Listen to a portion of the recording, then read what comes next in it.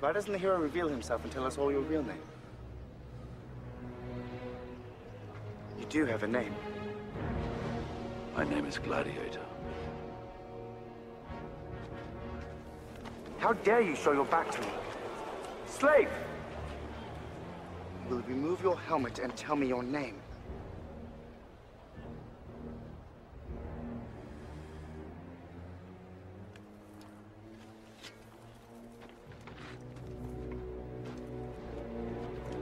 My name is Maximus Decimus Meridius.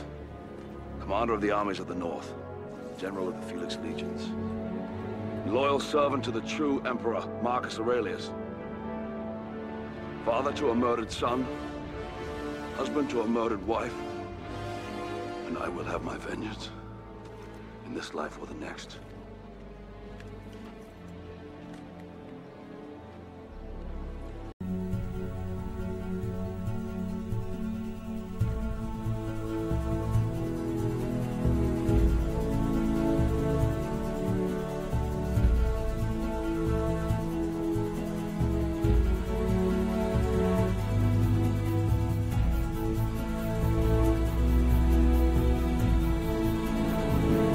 What we in life